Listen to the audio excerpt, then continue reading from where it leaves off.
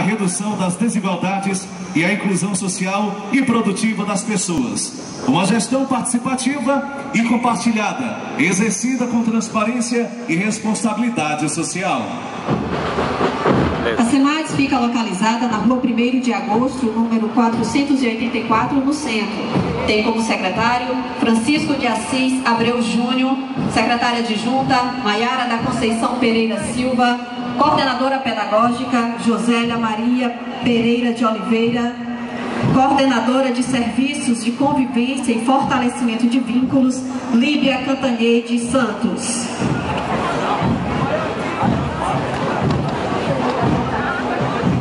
Programas. Programas desenvolvidos, programas administrados pela Secretaria Municipal de Assistência e Desenvolvimento Social, Proteção Social Básica, CRAS, Centro de Referência de Assistência Social. É a Secretaria de Assistência e Desenvolvimento Social. CRAS Bacuri, CRAS Caldeirões, CRAS Mutirão, João Viana. Junto com as pessoas. CRAS Pirajá.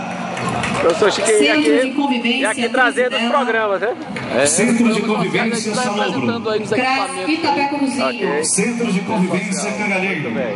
Professor Centro de Convivência Ivan Clara. olha aí. Centro de Convivência Brinquedoteca Luísa Queiroz. Centro de Convivência Brinquedoteca Castelo Mágico. Centro de Convivência Brinquedoteca São Francisco de Assis.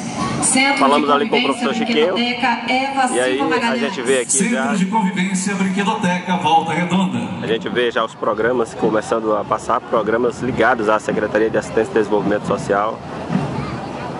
Secretaria que assiste a parte social no município de Caxias, com vários CRAs, centros de convivência de idosos. Senhoras e senhores, neste instante teremos uma apresentação aqui em frente ao palanque